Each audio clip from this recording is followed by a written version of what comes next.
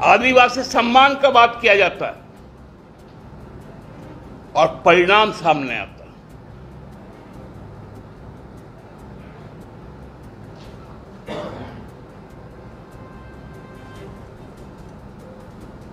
आजकल तो दिल्ली घूम रहे हैं।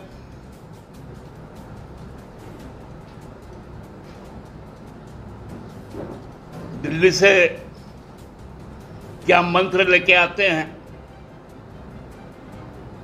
क्योंकि दिल्ली के पहले वो आसाम भी गए थे।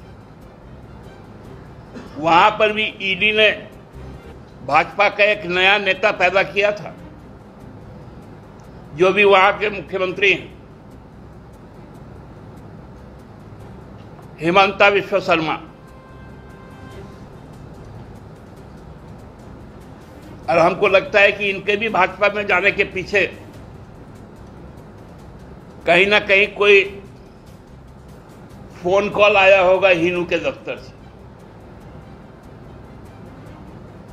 कि भाजपा में जाओ तो बचोगे।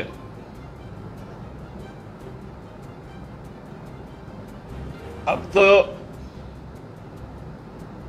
भाजपा ने अपना अध्यक्ष बनाया है। कम से कम विधायक दल का नेता तो चुन लेते अब।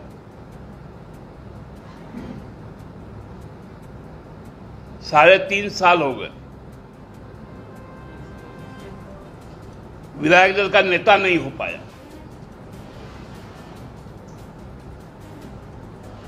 हम तो बार बार कहते रहे कि सबसे अनुभवी जो है उनको नेता बना दीजिए। हमको लगता है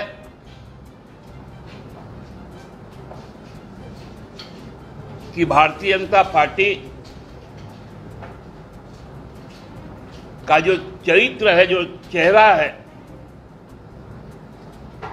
जो काम करने का, जो उनका तरीका है, माननीय उच्चतम न्यायालय ने उसका खुलासा किया है।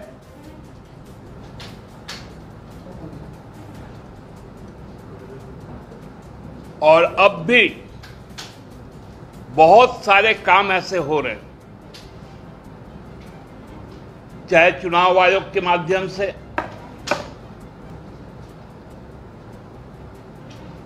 चाहे इनकम टैक्स के माध्यम से,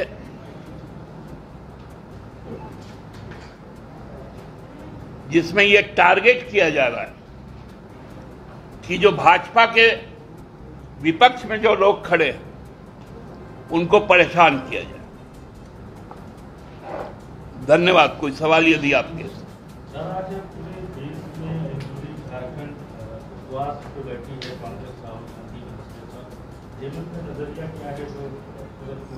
आया।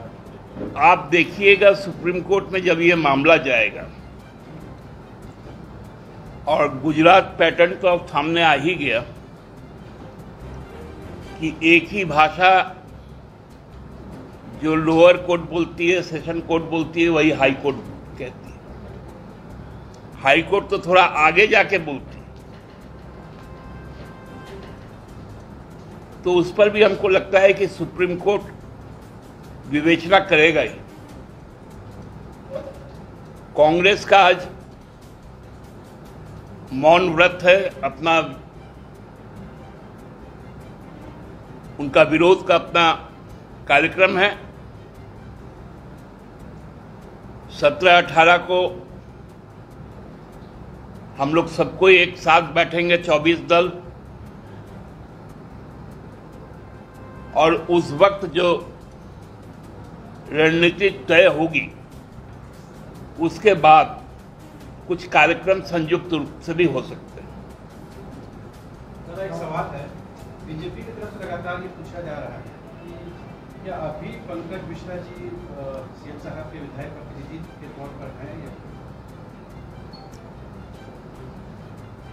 देखिए, हास्यास्पद चीज़ें का उत्तर दिया जाता है क्या? क्या हम लोग अभी आप पूछेंगे कि बाबूलाल जी को आपने किस हिसाब से लाया है? जबकि वो जेवीएम के टिकट पर चुनाव लड़के थे। ये बेमतलब सवाल। दादा एक सवाल और है। कांग्रेस के कार्यक्रम में योगेंद्र साहु जी पहुँचे हुए थे। उन्होंने कहा कि मुख्यमंत्री जी अच्छे इंसान है अच्छा बिहेवियर है उनका लेकिन उनके इर्द गिर्द जो लोग रहते हैं वो मिसगाइड कर रहे हैं। अब देखिए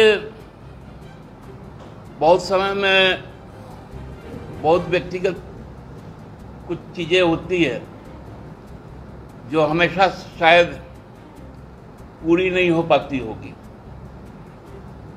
तो इस तरह से बातें आती है। अन्यथा वो हमारे सहयोगी साथी है, उनकी सुपुत्री योग्य जनप्रतिनिधि है। समय समय पर जन आकांक्षाओं को लेकर वो माननीय मुख्यमंत्री से मिलती रहती हैं। इसलिए हमको लगता है कि ये उनका कोई निजी अनुभव से कहा हुआ बयान होगा। अपने राज्य से जुड़ी हर ताज़ा खबरों के लिए आप हमें सब्सक्राइब करें, साथ ही बेल आइकन बटन दबाना ना भूलें।